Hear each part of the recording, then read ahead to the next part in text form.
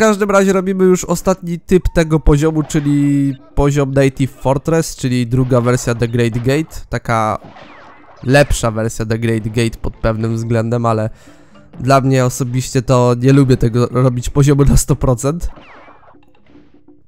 Ponieważ jest troszeczkę chory system e, stuprocentowania tej gierki. Ja w sobie może go wyjaśnię dla osób, które mogą nie wiedzieć. Więc, kiedy robisz 100%, to technicznie masz coś takiego, że jak sobie zginiesz tam w poziomie, to nie powinno się nic stać. Przynajmniej idąc logiką Crasha dwójki i trójki.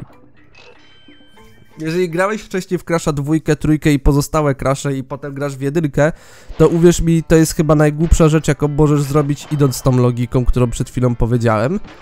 Bo w Crashu jedynce, kiedy zbijesz checkpoint i zginiesz, to już restartuj poziom. Ponieważ przed checkpointem możesz sobie ginąć do woli. Możesz sobie tam, nie wiem, nawet z 50 razy zginąć i nic ci się nie stanie. Ale kiedy zbijesz pierwszy checkpoint i zginiesz, to już lepiej restartuj poziom. Bo to ci się nie będzie opylało, dlatego że za tobą zespałnią się wszystkie skrzynki i total z tych skrzynek nawet nie będzie tobie uwzględniony, nie? Tak więc bierzcie to pod uwagę, jeżeli gracie po raz pierwszy w Crash'a 1, że to nie jest gra, która jest właśnie pod takim względem łatwa jak Crash 2 i 3. Oni oczywiście się tego pozbyli w późniejszych grach, no bo gdyby każda gra miała iść logiką Crash'a 1, to tak na dobrą sprawę seria byłaby mega trudna. Śmiało można byłoby powiedzieć, że będzie, byłby coś ala Kaizo Crash Bandicoot. No. I to, co tutaj wam prezentuję, to nie jest żaden glitch. To jest coś, co normalnie w gierce możecie zrobić. Jest to taki skrót, który ci omija z jakieś 15% tej sekcji. No może przesadziłem, może z 10% tamtej sekcji. Ale hej, nie musisz się przynajmniej bawić w atakowanie spin atakiem, w jakieś tam małpy czy inne tego typu przeszkody i źle to zsynchronizowałem. Zdaję sobie z tego sprawę. Jestem ciekaw, czy w tym let's play uda mi się zdobyć 99 żyć. Pewnie nie, bo znając życie gdzieś stracę w jakiś durny sposób, ale może się uda. Wiara czy, czyni cuda, jak to mawiają. W tle już mamy w ogóle drugą i trzecią wyspę, tak jak zresztą możecie się przyjrzeć.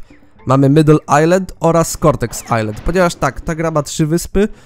Wyspa, na której obecnie jesteśmy to jest Air Island, druga to jest Middle Island, zwana przeze mnie też jako Wamba Island. Bo czemu nie? No i Cortex Island, czyli po prostu wyspa Cortexa.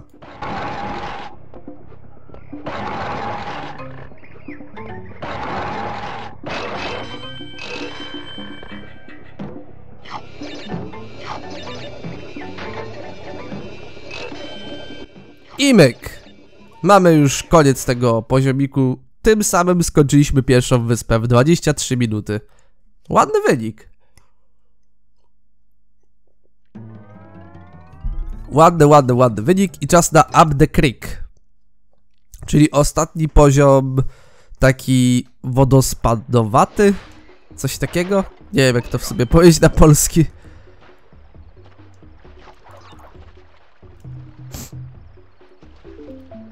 W sumie jesteśmy, można by powiedzieć, że zaraz w połowie tego let's playa, więc może w końcu wytłumaczę też kontrolki tej gierki. Więc standardowe kontrolki są takie, że nie możecie grać analogiem. To myślę, że każdy się na to przygotował, jeżeli nie, no to już wiecie o tym, że analogiem grać nie wolno. Nie wolno grać, no no no. Więc wasze jedyne kontrolki to są właśnie strzałki analog... Przed chwilą właśnie powiedziałem, że analogiem nie można grać, a teraz gadam, że strzałki analogowe. Weź ty się, pomidor, puknij w łeb. Wasze jedyne kontrolki to są właśnie te strzałki. X, czyli skok. Kwadrat, czyli speed attack. Kółko, czyli też speed attack i trójkąt, który pokazuje ci interfejs. To wszystko.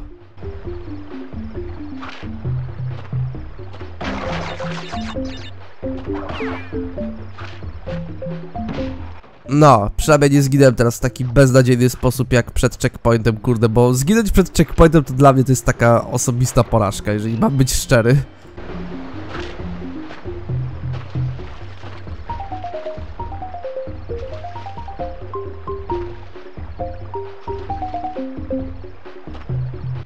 Dobra. Teraz uwaga, tam małpka się oczywiście odpala. Dobra, checkpoint mamy. I można lecieć dalej. I tak, wiem, że może połowa z was być trochę zawiedzona tym, że nie pokazuje tutaj 100%, ale skoro będę ogrywał jeszcze Insane Trilogy, to myślę, że warto byłoby 100% do Insane Trilogy zostawić, bo tam mamy przy okazji Time Relics. Oczywiście Crasha dwójkę i trójkę klasycznego będę robił na 100%, tylko że to będzie, mówię, te serie, które teraz widzicie na kanale, te, czyli Crash 1, 2 i 3, ponieważ jeszcze będzie klasyczna dwójka i trójka, to będą serie, które będą też wzorowane na moich pierwszych trzech let's playach na kanale. Żeby tak po raz ostatni już odcinkowo wam pokazać te gry na moim kanale. Plus na dodatek nie jestem za bardzo zadowolony z V2 Crasha 2 z 2018 roku, co też poskutkowało tym, że let's play poszedł cały na niepublika. A Crasha trójkę od zawsze chciałem zrobić już V2 z klasyka, więc będę miał idealny pretekst do tego. Tak więc to wszystko będzie leciało po Crashu jedynce i potem czekamy sobie po, na zakończenie czwartego maratonu, chyba że to zrobię już w trakcie czwartego maratonu Crasha. I potem lecimy sobie z Insane Trilogy z malutkim bonusikiem i będziemy mieli wszystkie gry ograne do nowej gry. Ponieważ można by powiedzieć, że ta droga to technicznie będzie taka podróż do Crasha 4, który wychodzi w październiku.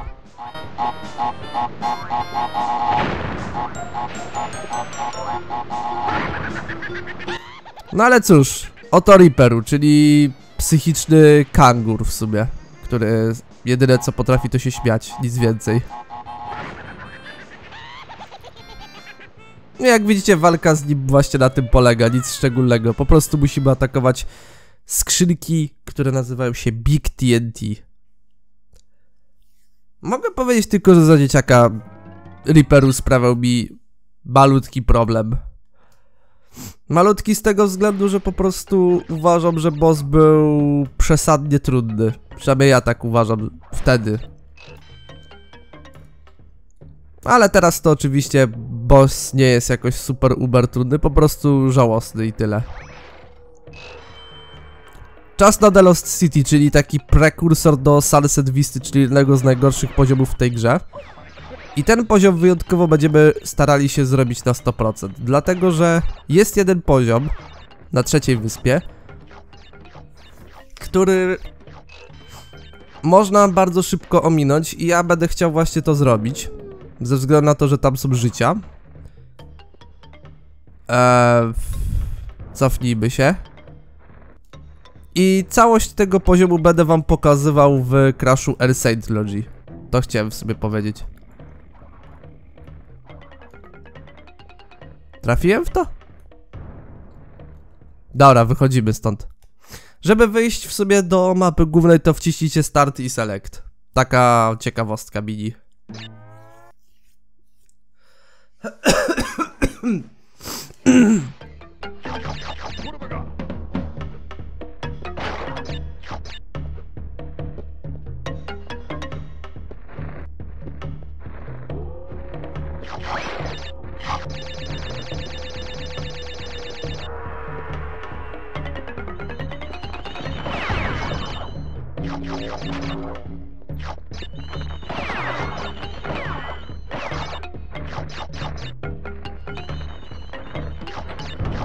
O, teraz widziałem, że zatrybiło, ponieważ widziałem, że ten wykrzyknik jakoś tak dziwnie poleciał. No i gitara. Mamy to, co chcieliśmy. I lecimy teraz dalej. 43 życia.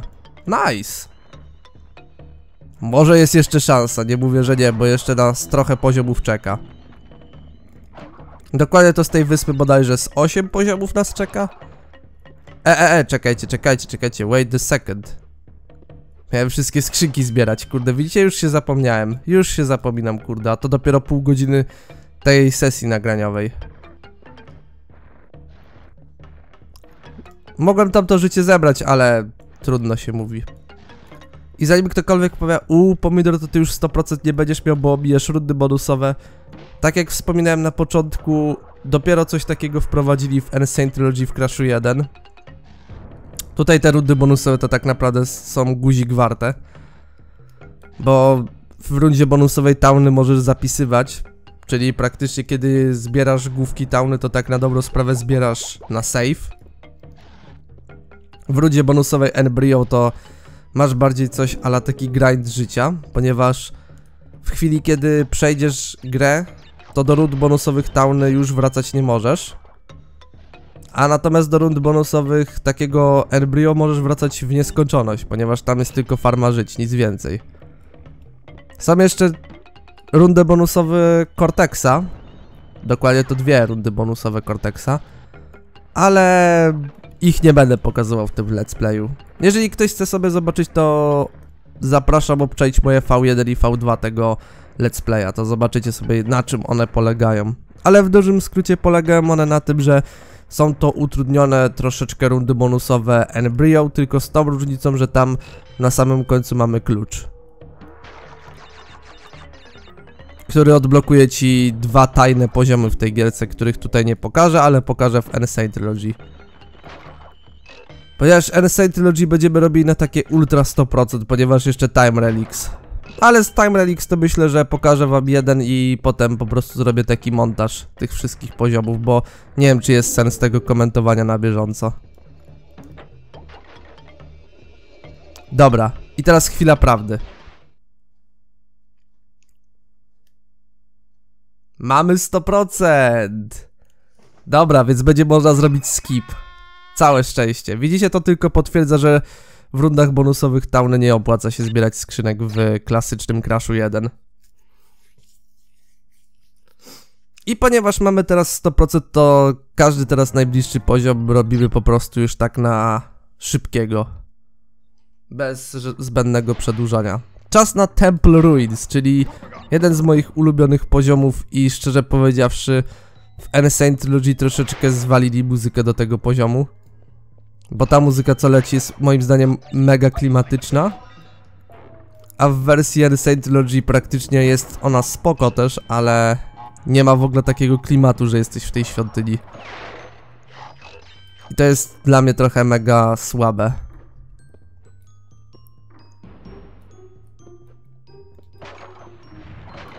W wersji japońskiej tej gry tutaj byłaby ekskluzywna runda bonusowa, która by miała troszeczkę więcej skrzynek, tyle.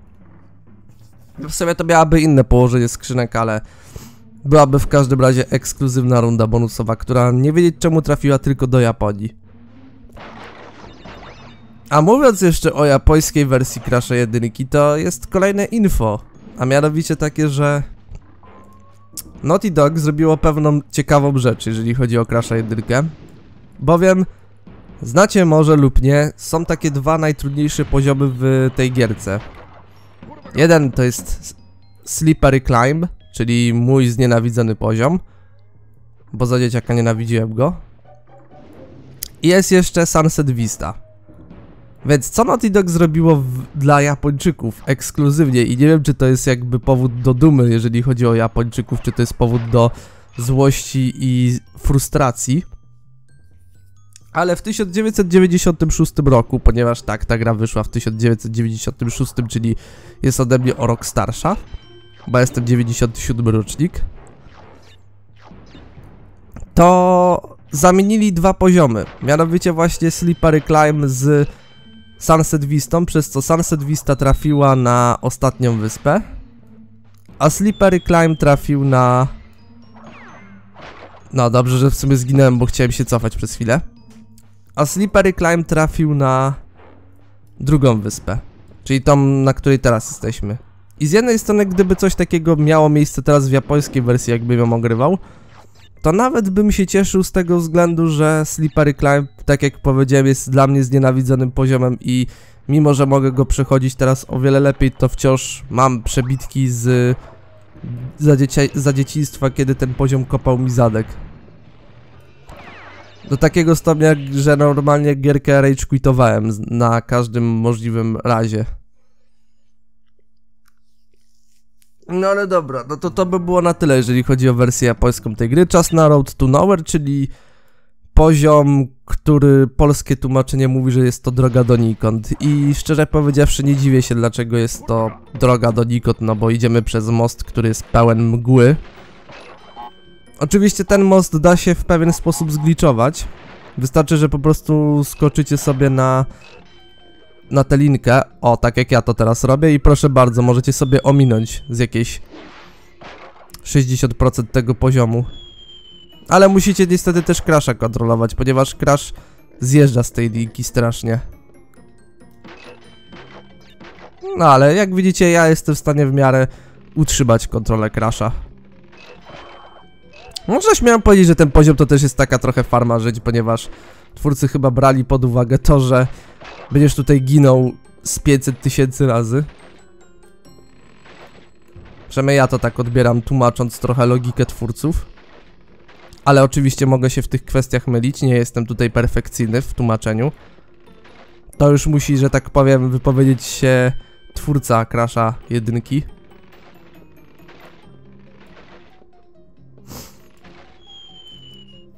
Ogólnie to teraz taka ciekawostka trochę związana z Naughty Dog, bo nie wiem czy wiecie, ale Naughty Dog przed Crashem jedynką nie było jakoś super znaną firmą. Byli oni odpowiedzieli za taką jedną gierkę, która nazywa się Rings of Power. Na chyba NESa? Nie mam pewności tutaj stuprocentowej. Bo oni byli bardzo znani z takich właśnie dosyć mocno undergroundowych gierek, więc można powiedzieć, że Crash Bandicoot zapewnił tej firmie rozpoznawalność.